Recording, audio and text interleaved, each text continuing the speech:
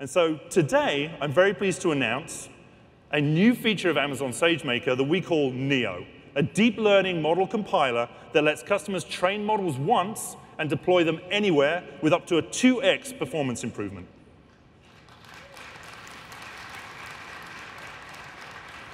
So let's take a look at how this works.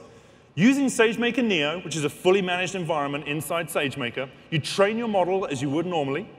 Uh, then you pass it into our new Neo deep learning compiler, and you select your deployment target, the hardware-specific target. And the deep learning compiler will take advantage of everything that it knows, just as you would compile normal C++ code, to be able to take advantage of all of the performance advantages of those individual platforms. And you can build, a, from a single train model, multiple deployment targets. Then you just take them, you can run them on EC2, you can run them on SageMaker, you can even run them using Greengrass ML Inference, or you can just download them and run them on uh, your devices as you go. So this is a material improvement with just a few clicks. We've been working already with a number of uh, hardware vendors, including Intel, Qualcomm, ARM, Cadence, NVIDIA, and Xilinx for FPGAs.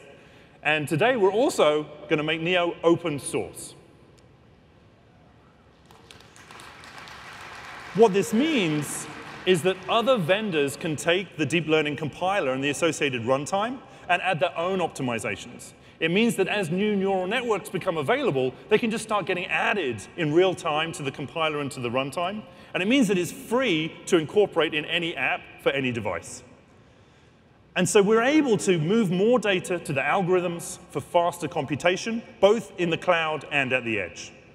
And what that means is you no longer have to go find the researchers. You no longer have to write the research proposals. You no longer have to hand over those huge checks. And you no longer have to wait as all of that hardware is delivered to your loading dock, as you rack, stack, and configure, and eventually build models.